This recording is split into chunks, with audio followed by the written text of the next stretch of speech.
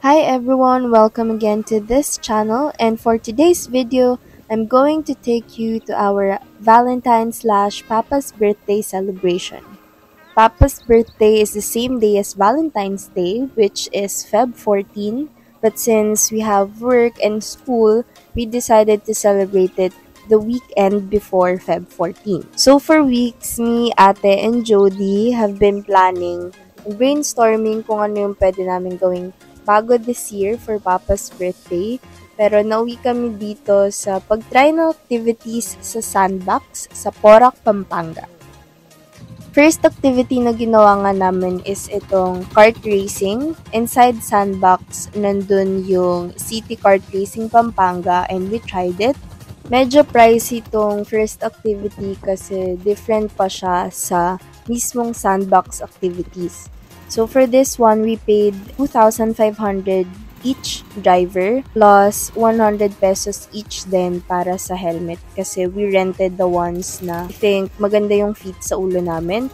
Although, meron din namang mga free helmet na kasama dun sa 2.5. So, the fee is good for 20 minutes. I think may iba pang options dun sa kart racing but we opted for this one. So, that's 2.5 kahit ilang laps sa loob ng 20 minutes.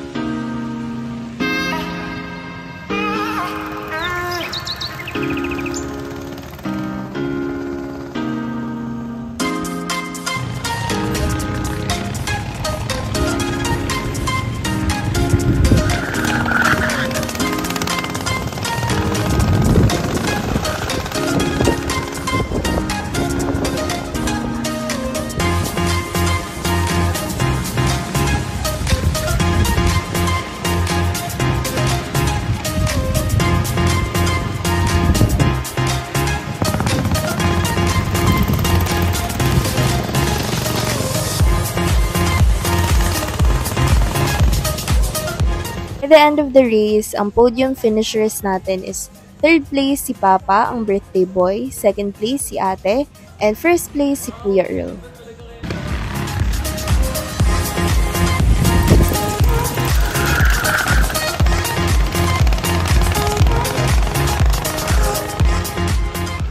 And then afterwards, pumunta na kami sa mismong activities ng Sandbox. So they offer, I think, 4 to 6 packages na iba't ibang combinations ng different activities nila doon. But kami, bumili lang kami ng two separate tickets for two activities. So first ton is itong aerial walk. And later on, may kita nyo, tinry din namin yung roller coaster zipline. So yung fee naman dito for the two activities since individually sila 100 plus each and on top of that nagbayad din kami ng 100 pesos entrance fee. So per head pumatak ng mga 300 plus to 400 yung gastos namin dito sa Sandbox.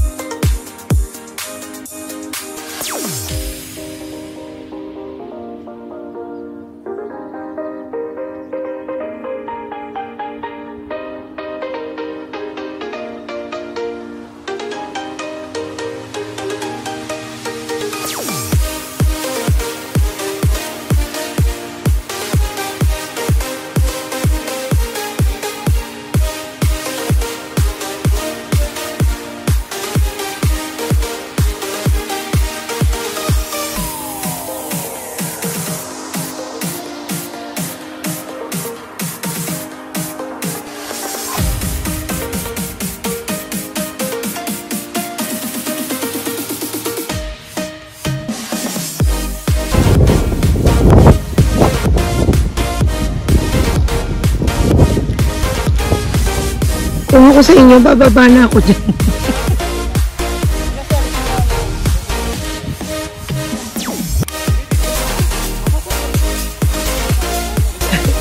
Magaan kasi itong dalawa eh. Dumaan dyan. Yan. Papak dyan oh. Dyan nga. Mas madali ka pala.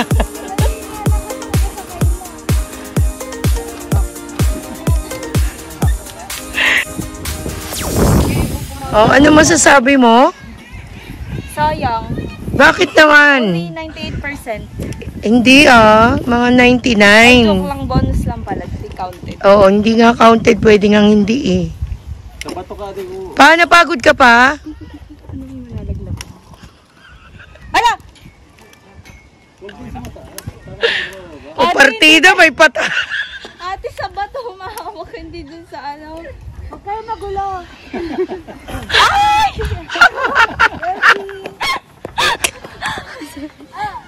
Ginugulo nyo kasi, ginugulo nyo. Ate, Sumakay na lang. sabi ni Julia, makuna mo yung palalaglag yun. okay. Yay! Ba't kami hindi mo binidyohan? Oo nga. Talaga to si Papa, may favoritism to eh. Napagod ka pa? mo, kinukuhanan kayo. Ako, si ate. Papa, napagod ka? Oo. Oo. Pagod, ah, ang sakit sa kamay. Oo nga. What can you say about your vlog? It's it's very sulit. Guys, ito yung ginagawa ko, kaya hindi pa ako nakakapag-vlog. I'm enjoying my life. Yeah. Here in the Philippines. So, tanungin na natin, ano masasabi mo? Wala lang, no? Parang lalakad wala lang lang eh. ano. Pero ikaw naka-perfect ah. Actually, yun doon, yung sa may manipis. Yes. Napakadali lang. Naka-idlip ako. Walang mahirap dyan, actually. Sobrang dali lahat. Nihintay ko pa yung nasaunahan ko kasi baka ma-pressure. Ang tagal nito. Oh, ay- okay, okay. Ito, ito, ito, ito. Andy, Andy, ano masasabi mo, Andy? Mahirap sa dulo. Kasi, ano, pag magaang like her, madali.